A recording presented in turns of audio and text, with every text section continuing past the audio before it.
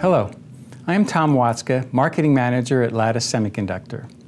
Today, I'm going to introduce a new IP that is available for the Crosslink family of programmable ASSP video bridging devices, combining the best of both worlds from an FPGA and an ASSP. Before I get into the details of the IP, I'd like to provide a quick overview of the Crosslink device.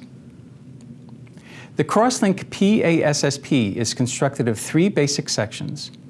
On the right is a set of two hardened MIPI D-PHY blocks, each capable of transmitting or receiving up to four lanes at up to 1.5 gigabits per second each. The I.O. sections in the left support a variety of I.O.s, including SLVS, D-PHY, and CMOS I.O.s, to name a few.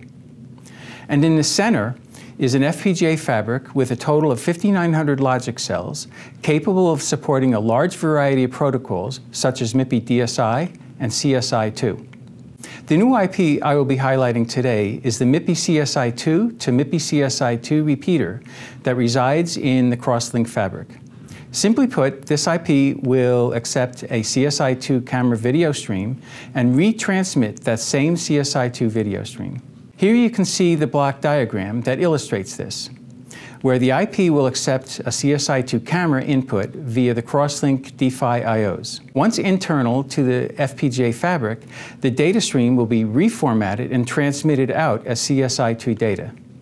So where can you use the CSI2 to CSI2 repeater? This IP can replicate a low swing D-PHY signal that may have been degraded through prior connectors, flex cables, or long PCB traces in applications such as drones and automotive infotainment systems. Similarly, it can be used to prepare a signal for transmission through connectors, cables, or long PCB traces in automotive infotainment systems and ADAS applications. It can be used to repair or adjust timing on video data or control packets to non-conforming processors. This may be useful in any harsh environments such as drones, automotive, and industrial applications. For more information about Crosslink, visit our website. Thanks for watching.